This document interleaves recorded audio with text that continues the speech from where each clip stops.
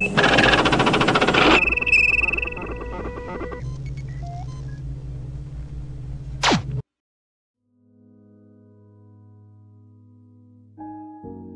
come here to celebrate the All-Father.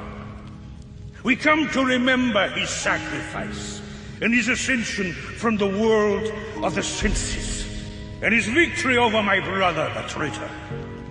We remember the dead, who even now gather in the Oververse. Their blades sharp, their aim keen.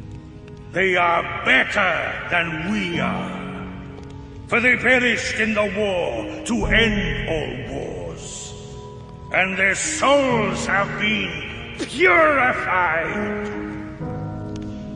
And what of us, those who remain, wallowing in the dregs the fallen gods have left us? We have grown fat. We have the beasts within us but it has never yet been mastered.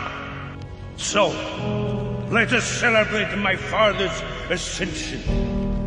Let us remember what he was able to accomplish.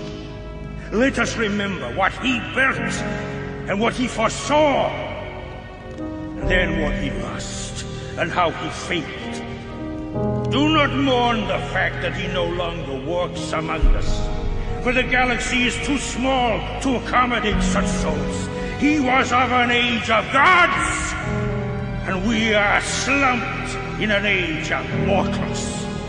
The light of the stars will fade.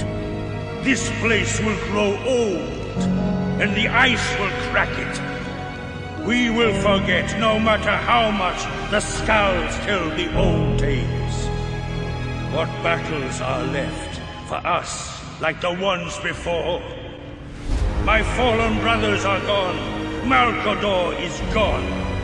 The leeches cluster around the golden throne and whisper of deeds done before they were born, as if it were they who achieved them. Doubt this. One thing remains true. We were not on Terra. We were not there when the palace fell and that shame will pursue us for eternity.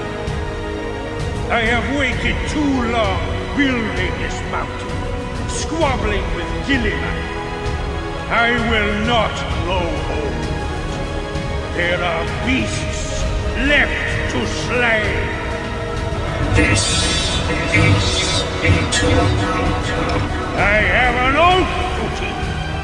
This is there shall come a time, far from now, when the chapter itself is dying, and our foes shall gather to destroy us.